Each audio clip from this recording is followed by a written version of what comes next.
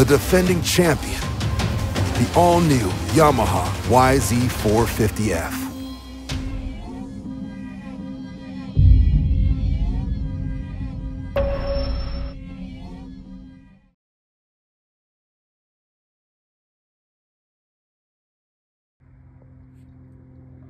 Hi everyone, it's Brent Farrell with Dirt Bike Test. Today we are testing the charging output of a 23 Kawasaki KX450X.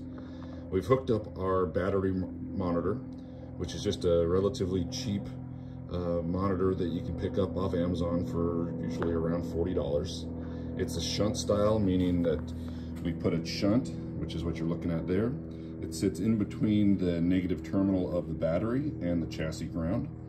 And really what it's gonna do is gonna monitor voltage, amperage, amp hours, and even percentage. And I'll show you the monitor here.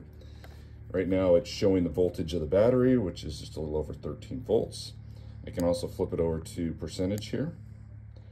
It's showing 94%. Now that percent is based on a starting point that I set on this monitor. I don't know exactly how many amp hours this battery, the stock battery on this bike uh, uh, supports or contains. I had this set at 9,000 milliamps or 9 amp hours, uh, and I just left it there. For our purposes, I don't really care exactly the capacity. I just want to see the movement. And I've purposely ran the battery down just a little bit to, to uh, force the charging system to charge the battery once I connect and turn on the lights. So I can also flip through some other screens here. Um, first is amps. Right now, there's almost no draw on this battery. Nothing's on. Uh, the only the very minute draw that you see there is just the, the that uh, that this monitor is creating on its own.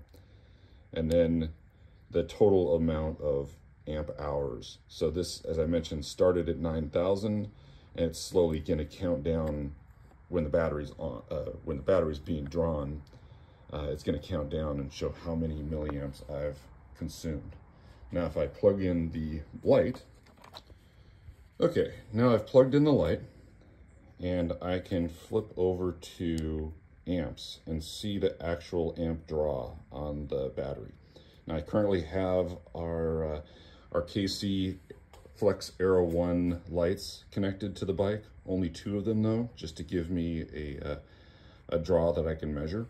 So each of these lights draws 23 watts and together they draw a little over three and a half amps uh, at the moment. We will see that number come down just a little bit as they've been on for a little bit. Uh, and then I can flip over to my amp hours and see that number counting down. So right now it's running at a loss. You can see the negative. It's going to continue to count down until ultimately the battery was dead. And then the percentage will show me as I'm drawing down. It's not an exact percentage because I don't know the total capacity of this battery, but it gives me a rough idea where I'm at. So I'm going to flip it back over to, to uh, amps, start there, and then I'm going to start the bike.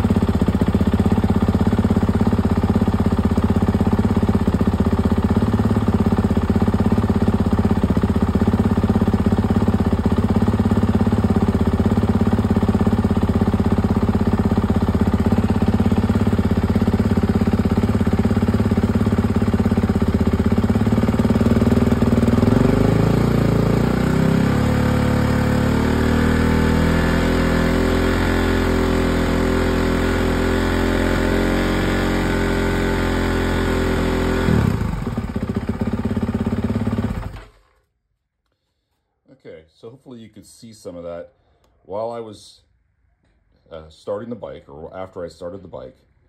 The draw went down on the amp side of the meter to almost zero.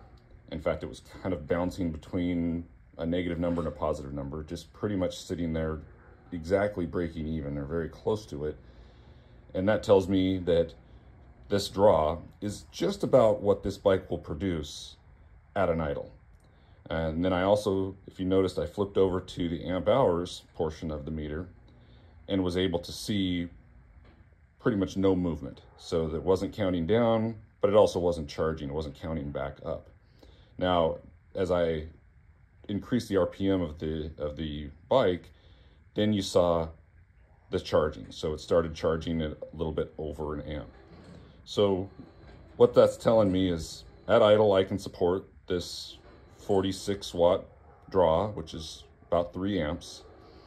And then I can also, you know, I can support a little bit more if I'm if I'm keeping the, uh, the RPM above idle. And that is gives us a pretty good idea of what this bike can support. If you're being really conservative, somewhere in the mid 40s watts, maybe 50 watts. Um, but if you do much idling, you're going to be breaking even. If you had a, much more of a draw on this bike and you didn't keep the RPMs up high, that draw would ultimately kill the battery and you'd be left uh, someplace probably stuck. so that's how we figured this out. Now we have a pretty good idea of what we can support on this on this bike. And next step is to put some lights on it and get out and play around at night. Thanks everybody. Appreciate you watching. If you liked what you saw in this video, come check us out over at dirtbiketest.com on the webs. We have bike tests, product tests, a lot of fresh dirt, and you can even support us by clicking through our links. Hopefully, we'll see you out in the trail.